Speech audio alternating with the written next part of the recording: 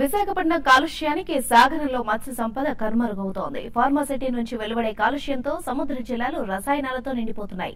దీంతో తీర ప్రాంతంలో చేపలు కానరావడం లేదు. మత్స్యకారుల వల్ల సైతం చేపలు చిక్కడం లేదు. దీంతో వందలాది మంది గంగపుత్రులు ఉపాధి కోల్పోతున్నారు. ప్రభుత్వం తీర ప్రాంతాల్లో రసాయన వ్యర్థాలను నివారిస్తామని హామీ ఇచ్చినప్పటికీ ఆచరణలో మాత్రం అమలు కాలేదు. దీంతో పరవాడ మండలంలోని బోనంగి లేమర్తి ఎదువారిపాలెం కొత్తపాలెం గంగపుత్రుల పరిస్థితి అగమ్యగోచరంగా మారింది.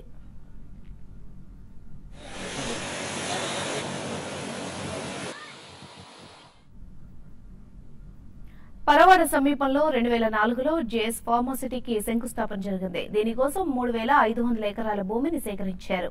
ప్రస్తుతం ఈ ఫార్మాసిటీలో డెబ్బై ఎనిమిది కంపెనీలు ఉత్పత్తులు ప్రారంభించాయి.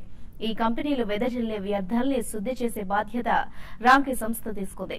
దీనికి సంబంధించిన ఖర్చును ఆయా కంపెనీలు భరించాలి. వ్యర్థాలను రెండు దశలో శుద్ధి చేసి సముద్రంలోకి వదలాలి. కానీ కంపెనీలన్నీ కుమ్మక్కై వ్యర్థాల్ని నేరుగా సముద్రంలోకి వదిలేస్తున్నాయి. ఆ గంగును తిని మనం బతకాలి? నా పోతే మాకేటి రోడ్డు పాలు అయిపోతున్నాం. కొన్ని రోజులు పోతే ఈ రోడ్డు రోడ్లు పెట్టేస్తాం. ఈ కంపెనీలు వచ్చి ఎన్టీపీసీ పరమాసిటీ బాంబులకి వచ్చి ఇప్పుడు మాకు ఈ పరిస్థితి వచ్చింది. ఊరూరికి ఉద్యోగాలు ఉన్నా మాకు ఏటి లేదండి. ఈ మొదలు తాగిన చేపలు ఎవరు తింటాలి ఆ చేపలు తిన్న చచ్చిపోతాలి అనేక జబ్బులు బయలుతున్నాయి ఇప్పుడు. ఈ కంపెనీ వచ్చి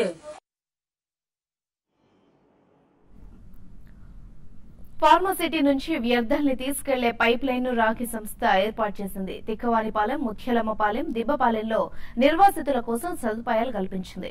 అయితే ఇక్కడి నుంచి ఫార్మసిటీలో ఉత్పత్తి ఊపందుకున్నప్పటికీ గంగపుత్రుల్లో ఆందోళన మొదలైంది. వ్యర్థ రసాయనాలు సముద్రంలో కలవడంతో మత్స్య సంపద నశించి పస్తులుండాల్సి వస్తోందని ఆవేదన వ్యక్తం చేస్తున్నారు.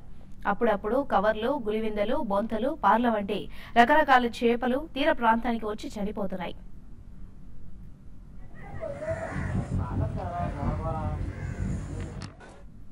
అటు పరిశ్రమలు ఏర్పాటై ఏళ్ళు గడుస్తున్నా నిర్వాసిత గ్రామాల్ని నిరుద్యోగ సమస్య వెంటాడుతోంది. ఈ ఫార్మాసిటీ ఎన్టీపీసీల నుండి వ్యర్థ జలాలు శుద్ధి చేసి సముద్రంలోకి వదలాలని మత్స్యకారులు డిమాండ్ చేస్తున్నారు. లేదంటే తమ జీవనోపాధి కష్టమవుతుందంటున్నారు. అయితే పొల్యూషన్ కంట్రోల్ బోర్డు మాత్రం వ్యర్థాలను శుద్ధి చేసి విడుదల చేయాలని చెప్పినా అధికారుల కాసుల కక్కుర్తిని క్యాష్ చేసుకుంటున్న కంపెనీలు నేరుగా సముద్రంలోకి వదిలేస్తున్నాయి. సంగట్లోకి ఆటకి వెళ్తారు. నేను వచ్చి నీరు రూపేసేసి షాపులు వెళ్ళి చచ్చిపోతున్నాం పొద్దుకు కొట్టేస్తున్నాయి మాకు ఏటి ఆటకి వెళ్ళే వరకు ఏటి దొరకట్లేదు. ఏమి ఇన్ని ఇన్ని చేపలు దొరికితే ఆ చేపలు వందకే రెండు వందలు తిరుగుతున్నా రైతులు పుల్లు వాళ్ళు తీసుకెళ్ళి ఆ ఏటి